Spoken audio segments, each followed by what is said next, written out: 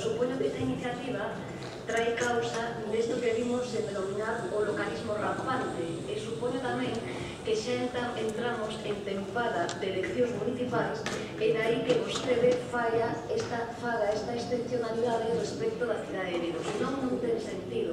Non ten sentido esta PNL polas razóns que aquí xa se teñen dito. A primeira é que xa o partido que vostede representa ten votado nesta Cámara mesa dos actuais partidos judiciais en Galicia, que son un total de 45. Xa votaron a favor desta medida. Por tanto, eu entendo que esta, esta, este voto que se ten acadado aquí con, por unanimidade vai ser mm, defender por parte do Partido Popular entendo que vostede eh, extrae a singularidade de Vigo por razóns, insisto, absolutamente localistas e por razóns de que empezamos, insisto, a tempada electoral. Senón, non ten sentido o que está peticionando nesta iniciativa.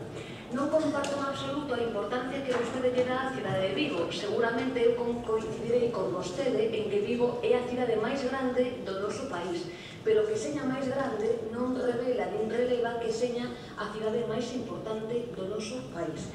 O que sí que é evidente, e a nós nos gustaría eh, que o Partido Popular aprobase a emenda que a Alternativa Galega de Esquerda, como fixeron as compañeiras dos outros grupos da oposición, voten a favor da mesma. Por qué? Porque o tema do que estamos a falar ten unha relevancia extraordinaria.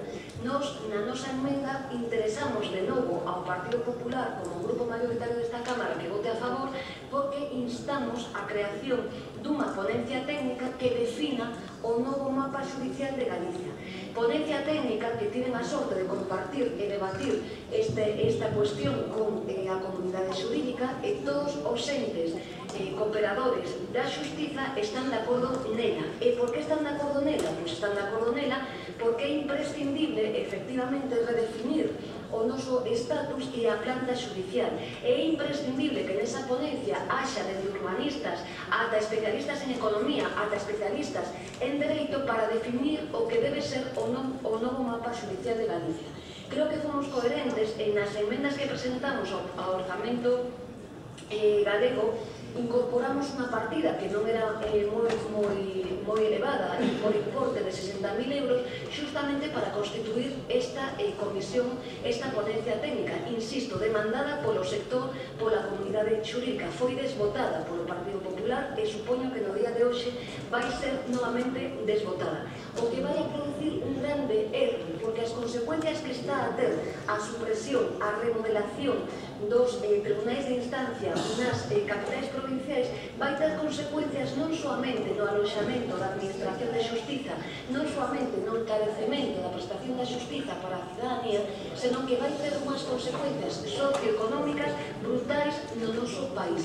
Vostede citaba algún exemplo de algún partido judicial. Eu falolle, por exemplo, de Ortigueira, falolle de Noia, falolle de Ribeira, de un montón de partidos judiciais que a súa supresión, tal e como está proposta na norma actual, vai ter consecuencias, insisto, tremendas de orde socioeconómico. É dicir, vai a supor tamén o empobrecemento desas vilas. Por tanto, nos, eh, insisto, coa petición, creemos que o serio é que Galicia defina cal é o seu mapa judicial, nos podemos concordar que claro que hai que redefinir a planta judicial no século XXI, claro que sí, claro que o mellor Oleiros non, que, non ten que ter un partido eh, eh, judicial municipal, non? Eh, eh, e ten que ter outro tipo de infraestructura, pero insisto, ou na lodo, non? casos eh, que poden ser estudados, pero insisto, a cuestión sería que técnicamente definamos a nova planta judicial e, sin lugar a dúbidas, a segunda parte mm, que nos instamos nesta enmenda é que se manteñan